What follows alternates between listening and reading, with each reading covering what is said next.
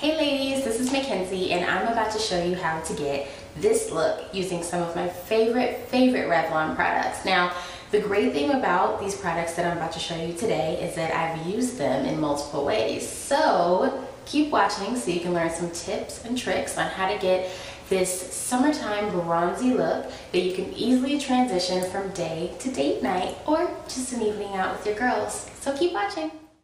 Hey ladies! Okay, so let's get ready. First thing we're going to use is our Photo Ready Perfecting Primer. And what this is going to do is give us a nice base for the makeup to sit on and also help our makeup last through the day. It's like putting everything on a clean, smooth surface. Then I'm going to take my concealer stick in medium deep and apply kind of like two triangles underneath my eyes. This is going to give me like a, a base to start out with and smooth it out really well and blend with my finger to give me that pretty highlighted look in the middle of the face as well as cover up any dark circles or lines or blemishes that you're worried about. Next thing I'm going to do is take my wet sponge, and as you can see, the wet sponge next to the dry one, it's expanded. And the purpose of this is to get our foundation to blend really well. So I'm going to take the Airbrush Mousse Foundation, be careful when you pour that on your hand, here we go, and take my sponge, dab it into the mousse foundation, and dab it into my skin. When you press the foundation into your skin, you can build a more buildable coverage, so that if you prefer more coverage, you can build more in. So you're going to smooth everything in. It's so creamy, by the way. I forgot to tell you. Smooth everything on and you're good to go. Make sure you get that forehead, don't forget. And don't be afraid to bring your foundation down the neck as well to apply for even color.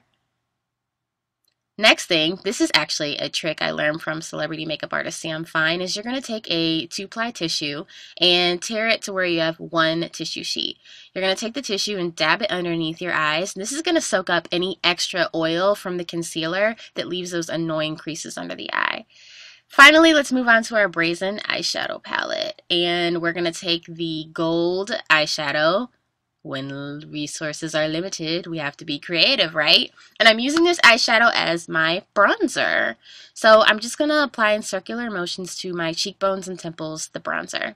Do the same thing for the other side and apply down my nose and center of my forehead, basically where the sun naturally hits my face.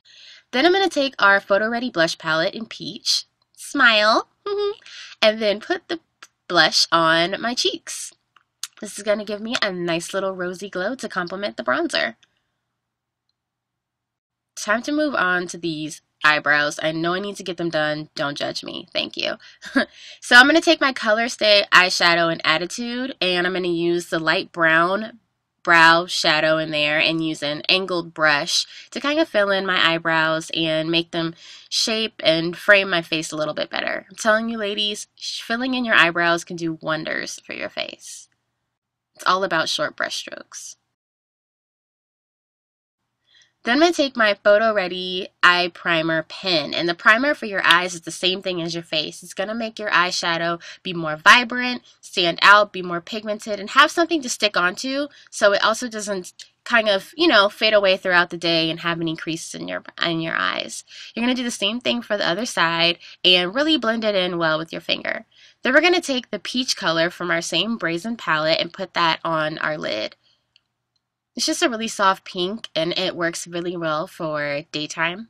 It's going to go nice with our look.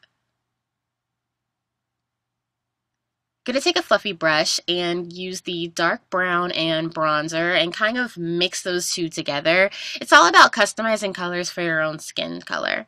So I'm to take my fluffy brush and we're to apply that in the crease of the eye. And what this is to do is give us definition and kind of a nice sculpt to the eye.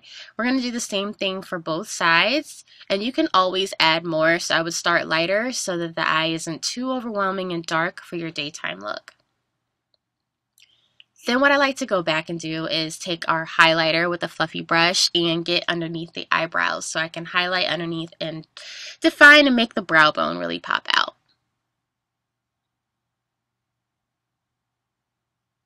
Now go back and take your fluffy brush and kind of get it clean on your tissue where all the color comes off and blend. Ladies, I swear if you haven't learned anything from this video, learn to blend your makeup. It really can transform and make that much of a difference. So blend your shadow in together. Then we're going to finish up with our 3D volume mascara. Do not pump the wand, FYI, because when you pump it, actually you pump air back into the mascara wand and it makes your mascara dry out faster. So we're just going to apply a couple generous coats on the top lashes as well as your bottom. So funny when we always look so concentrated. We're doing our mascara. But that's not it. I'm going to take my Emerald Lash Liner pencil, and this is a pretty emerald green color, and apply it on the waterline of my lower lash line. This is just going to add a nice little subtle pop of color to your lashes and your eyes and really make things a little different. And that's what the finished product looks like with the liner. We're going to finish up our daytime look with a soft Creme Brulee Colorburst Lipstick. These colors go on so creamy on your lips. They feel very hydrating and the pigment is amazing. And to top it off, a peach color in Sunset Peach Colorburst Lip Gloss. This looks really nice over top to give you and finish that daytime look. But wait, there's more. Let's transition tonight with a bright, fun lipstick. This lip color is so pretty. It's called Lollipop and it's Colorburst Lip Butter Lipstick. And you're going to apply this to your lips. As you can see, it's already very pigmented. You can see it on my bottom lip. I really don't need a lot. But you're going to apply a couple of layers of this lips lipstick and then move on to your Hot Pink Rose Colorburst Lip Gloss. And um, ladies, listen up real quick. I am going to tell you a secret. If you want your lips to appear fuller, dab more lip gloss in the middle of your bottom lip, and this gives the illusion of fuller lips. Now, to sass things up with the eye, I'm going to take my black kohl eyeliner and really get the rims of my top lashes on the outside. This is just kind of going to make a smoky effect. It smudges really easy, so just take your finger like your pinky and smudge the eyeliner into your lash line to give you a nice little dramatic look. But it's still subtle and sexy at the same time.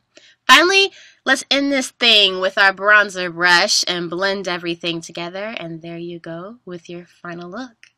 Hope you guys liked it. Bye!